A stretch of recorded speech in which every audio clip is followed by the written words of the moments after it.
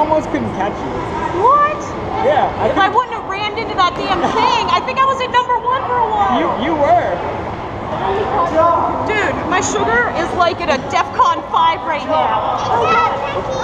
I need those. The song that's playing right now, I was so tempted to just go like this the whole way around the track. You lost to Becky. I know.